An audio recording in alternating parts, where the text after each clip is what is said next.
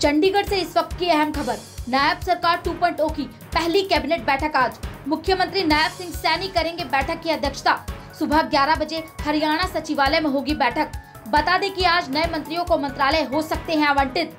बैठक में हरियाणा विधानसभा सत्र की तारीख पर लगेगी मुहर। इसके अलावा नई कैबिनेट के साथ कई अहम मुद्दों पर होगा मंथन। साथ ही कई महत्वपूर्ण प्रस्तावों पर भी लग सकती है मुहर।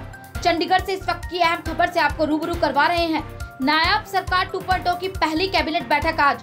मुख्यमंत्री नायब सिंह सैनी करेंगे बैठक की अध्यक्षता। सुबह 11 बजे हरियाणा सचिवालय में होगी बैठक। बता दें कि आज नए मंत्रियों को मंत्रालय हो सकते हैं आवंटित।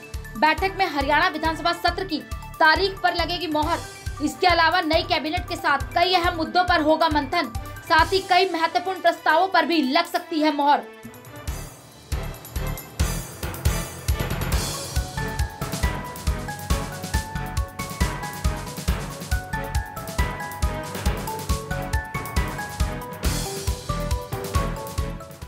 हमसे जुड़े रहने के लिए हमारे YouTube चैनल को सब्सक्राइब करें और नई वीडियो की नोटिफिकेशन के लिए बेल आइकॉन को दबाएँ।